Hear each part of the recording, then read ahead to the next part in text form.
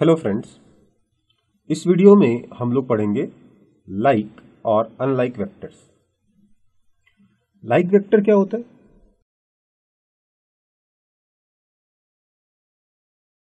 Like vectors are vectors with same direction अगर दो vectors का डायरेक्शन सेम है तो हम उनको लाइक वेक्टर्स कहते हैं.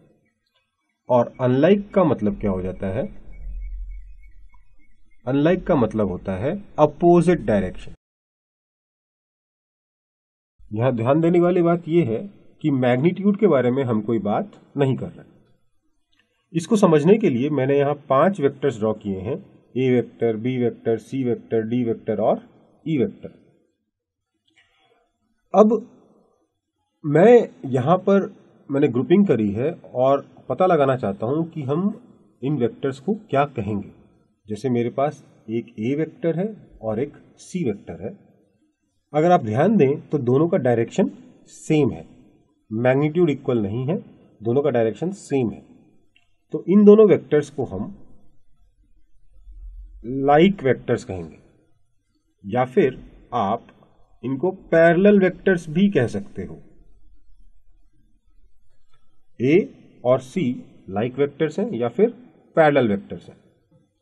वहीं अगर मैं ए वेक्टर और बी वेक्टर के बारे में बात करूँ तो ए वेक्टर और बी वेक्टर दोनों का डायरेक्शन भी सेम है और मैग्नीट्यूड भी सेम है। तो क्योंकि डायरेक्शन सेम है, इसलिए लाइक तो है पैरल पैरेलल भी है, पर मैग्नीट्यूड भी इक्वल है।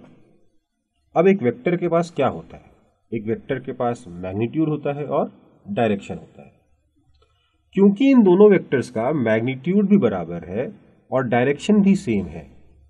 मतलब दोनों वेक्टर्स में कोई अंतर ही नहीं है। दोनों वेक्टर्स इक्वल है। इक्वल वेक्टर्स ए वेक्टर और बी वेक्टर इक्वल वेक्टर्स है। अब बात करते हैं ए वेक्टर और ई वेक्टर की। ए और ई इन दोनों वेक्टर्स पे अगर आप ध्यान दें तो दोनों का डायरेक्शन अपोजिट है। ए इधर जा रहा है और ई उल्टा आ रहा है। तो इनको हम अनलाइक वेक्टर्स कहेंगे। या फिर आप एंटी पैरेलल वेक्टर्स भी कह सकते हो।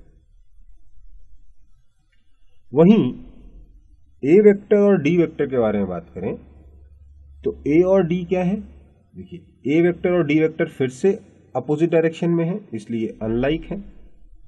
आप इनको एंटी पैरेलल भी कह सकते हो। पर एक खास बात यहाँ क्या है? दोनों का मैग्नीट्यूड इक्वल है। अगर दोनों का मैग्नीट्यूड इक्वल है तो आप ए वेक्टर और डी वेक्टर को निगेटिव वेक्टर्स कहोगे। निगेटिव वेक्टर्स मैग्नीट्यूड भी सेम है और डायरेक्शन अपोजिट है। मैग्नीट्यूड इक्वल है डायरेक्शन अपोजिट है।